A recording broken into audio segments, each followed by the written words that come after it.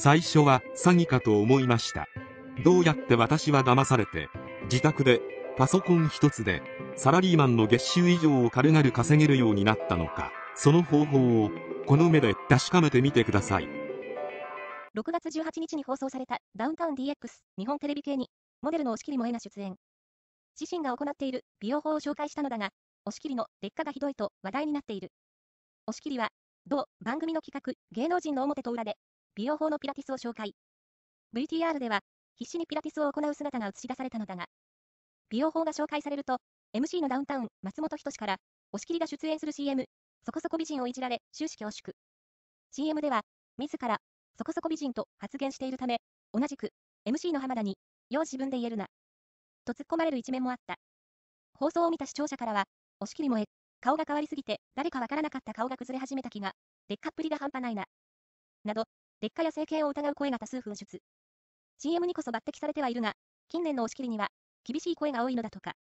CM の、そこそこ、美人では、すっぴんを披露して話題になっているのですが、もう美人じゃないという視聴者の声も多いようなんです。数年前までは、同じ雑誌で肩を並べていたモデル、海老原ゆりが、2011年に、RIP、スライムのゆるまりーと結婚。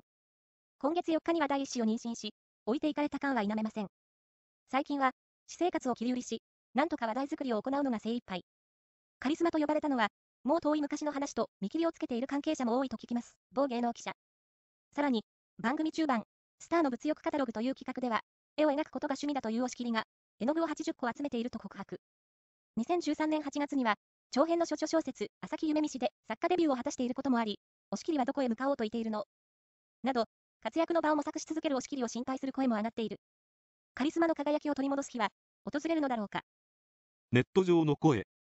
あの CM のすっぴんで、そこそこ美人は、どうなんだろう。そりゃ、女子高生時代よりはマシにはなってるけど。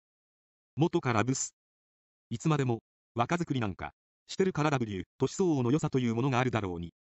もともと美人じゃなかったよ W、整形前も整形後もな。もうって前からブスだっただろ。エビちゃんの付録。こないだ芝居館に行ったら、小川夏美が出てて、すごく上手ないい女優さんだった。浜田のことちょっと見直したわ。息子もそこそこ成功してるし、きちんと家庭運営してるんだな。今なら抱ける。ご利用しもえ。高校の先輩なんだよな。全盛期を過ぎちゃったから、あとは落ちていくだけか、厳しいの。写真家、メイク、衣装担当、関係各位に感謝するんだな。ダウンタウン DX に出てるの見たけど、足が最高に綺麗だった。やっぱ、モデルは、スタイルいいな、キープしてることがすごいと思う。顔が劣化するのはしょうがないだろう。汚いな化粧ぐらいするのがエチケット。エビちゃんは、今でも美人で結婚して、妊娠中、差がつきすぎたな。整形なんてなぜするんだよ。広田美恵子さんのこと知らないのかなああなって死んでいくんだよ。足綺麗だからやれる、いや、やりたい。細すぎておばあちゃんみたい。